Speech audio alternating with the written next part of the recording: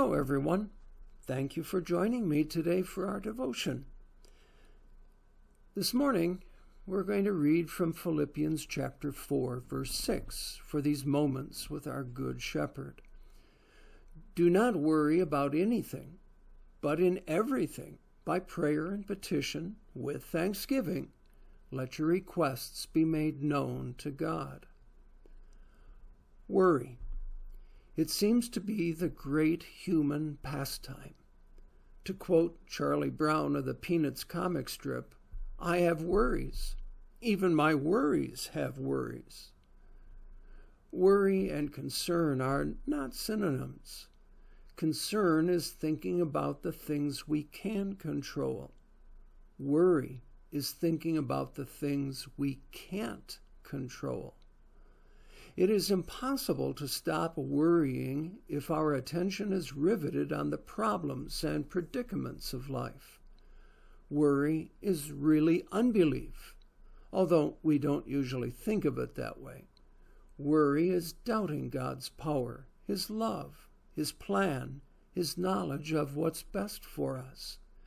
It's not fearing, loving, and trusting God above all things, as the small catechism of Martin Luther explains. But a wonder of God's love is that he teaches us how much greater he is than the worrisome circumstances we face daily. He assures us that he is in control of all things. He is the Almighty, all knowing God who knows our every need and is capable of fulfilling them. He took away our greatest worry, didn't he? He freed us from the damnation we deserved as sinners. He lavished His love on us by giving us life with Him that will last forever.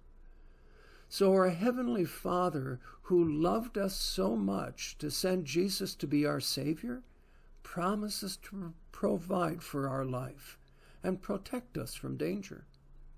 Turn your attention to Jesus he tells us that our Heavenly Father knows our needs and will supply them. You won't fall through the cracks. Turn your inclination to worry into prayer. Thankful for His saving love, we can turn from our inclination to worry and turn to Him with our concerns and burdens.